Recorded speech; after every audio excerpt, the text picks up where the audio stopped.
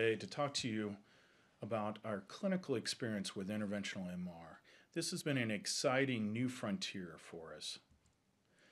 Why did we choose MR to do procedures with? Well, MR brings a special set of uh, key features uh, that are important and crucial to our procedures that we want to do under imaging guidance. At the very beginning, MR is the best way to achieve the highest resolution of soft tissue. And what does this mean clinically? Well, this means that we can see the tiny lesions uh, many times where other imaging platforms may not be able to visualize these. We also have the ability to MRI. And the nice feature is that it does not deliver any radiation, so no detrimental effects from imaging in the same place many, many times. Now, we can re-image and re-image in the same spot without any concerns from detrimental effects such as radiation. Disadvantages of MR in the past have been that it took a long time to get the sequences and the imaging. However, that has improved over time. And also previously, we did not have compatible equipment and there was a lack of familiarity with how to do procedures in the MR. All this has changed. We now have equipment which is compatible with the MRI and is similar to what we use throughout our other practice uh, with CT, ultrasound, or x rays. This slide demonstrates how MR adds to the ability to see a lesion. Here you see on the left side a clearly seen tumor within the liver, which is not small. And when you look at the ultrasound and CT images, you cannot see this tumor at all. So therefore, the MR allows us to see it, therefore we can target it. And if we can see it, we can also make sure that when we're ablating it, that we're ablating the entire tumor. The MR compatible modalities that we have are MR guided cryoablation, MR guided laser ablation, MR guided focused ultrasound, and we recently added MR guided microwave. Now, where do we use these modalities to treat tumors in the body? Honestly, we treat all over the body, but more specifically, we treat uh, lesions in the kidney, liver, mesentery, prostate, vaginal recurrences, spine, bone, brain, and vascular malformations throughout the body. Some of the main areas that we target are kidney, liver, prostate, brain, and vascular malformations. Starting with the kidney, cryoablation has been a mainstay in the kidney for many, many years now.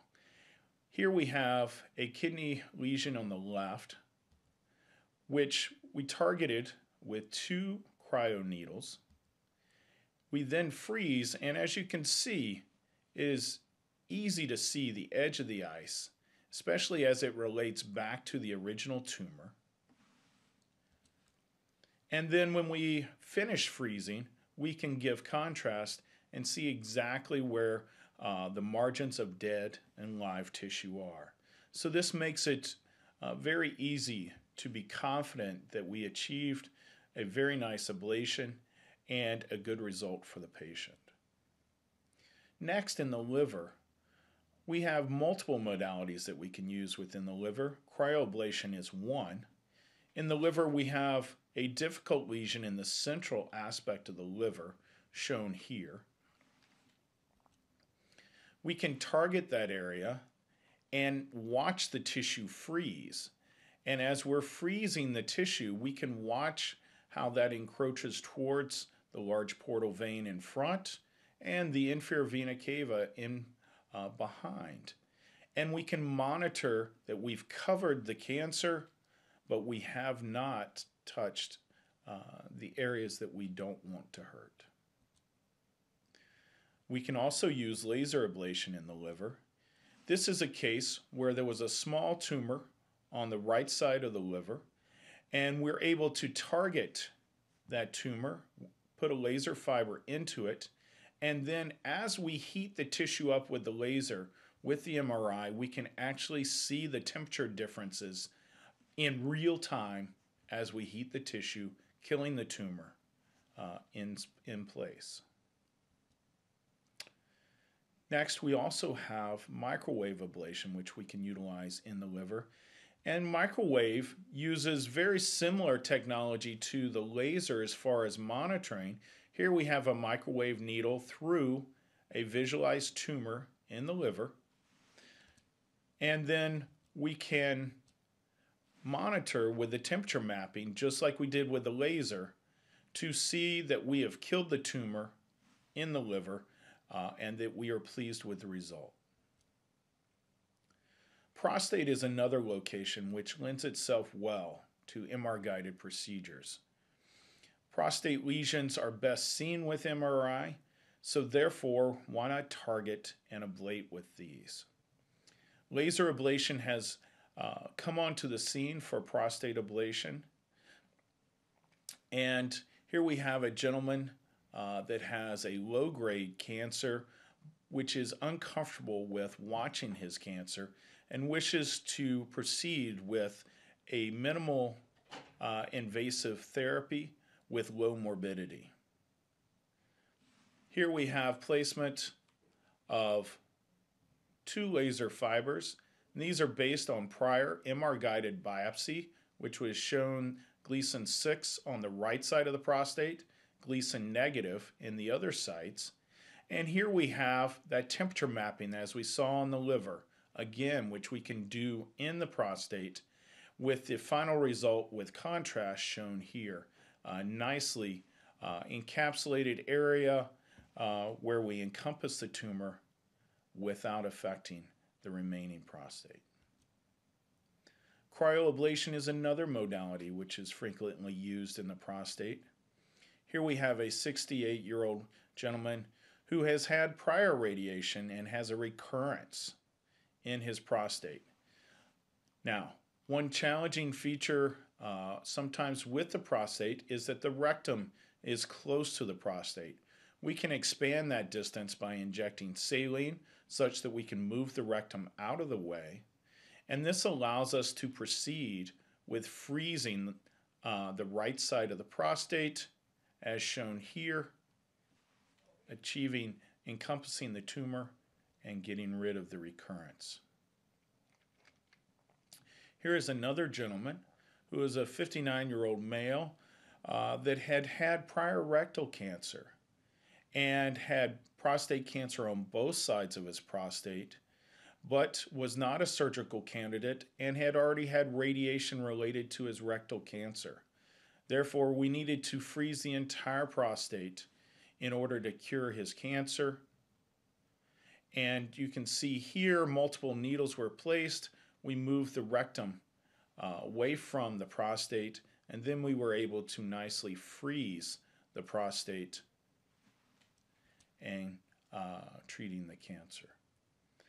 MR guided focused ultrasound is another modality which we are able to bring into play for prostate cancer. In this particular modality, uh, the cancer uh, in this patient was located on the right side. And this is the ultrasound transducer which is placed in the rectum. Here we have planning images showing that we have targeted the right side of the prostate and then the focused ultrasound starts stepping through these, treating. And we're able to see the tissue heating up from the focused ultrasound, again with the MRI. And here we have the final result here, uh, where we uh, give contrast and see a nicely treated right side of the prostate. Finally, vascular malformations are another targeted area uh, that we have that lend themselves to being treated with MR guided procedures. Many of these vascular malformations had failed standard treatments and are looking for potential solutions uh, to treat the vascular malformation, which many times causes extreme pain. One way that we can treat that is by freezing it with cryoablation.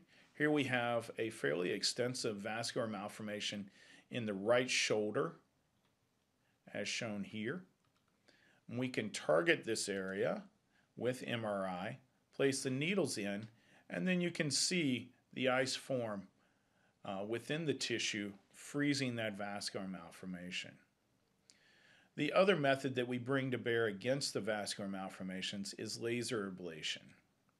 Here's a gentleman that has a very small lesion in the muscles of the right back and shoulder. We're able to target this, placing laser fibers into this lesion, and then we can heat this up again, watching the heating with the MRI, treating the lesion. This process of using MRI to do interventional procedures is an ongoing uh, study. It is an ongoing process where uh, a whole team of individuals specialized around MRI and MRI procedures have brought to bear many different specialties and many different areas of expertise to make this possible. And so this has been a team effort here at Mayo Clinic, and we are excited about the future that it holds. Thank you.